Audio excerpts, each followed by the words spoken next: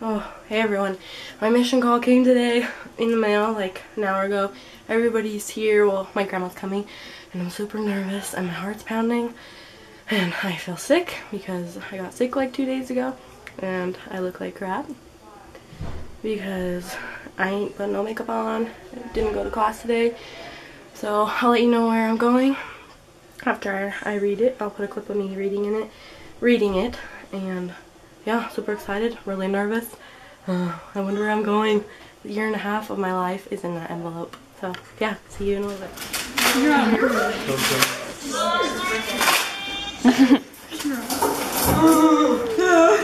where do I read? It's the top front page. Okay. Just open up the whole packet.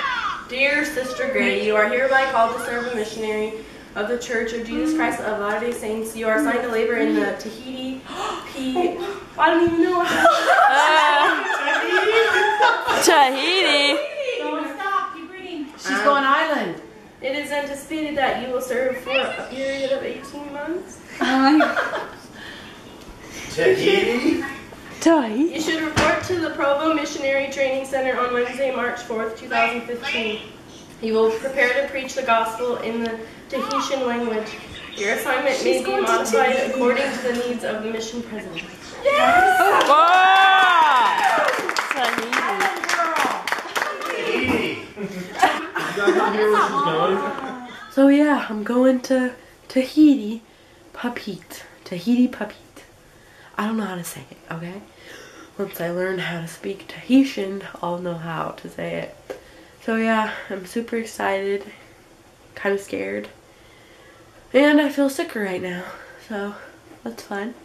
But yeah, it's gonna be a really spiritual experience and it's definitely gonna be a lot of learning. I'm going to Tahiti.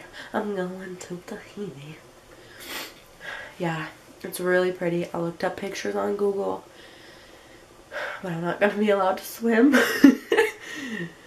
but teaching the people is going to be a really good experience, and I'm really excited and scared. So, yeah. Thanks for watching. Bye.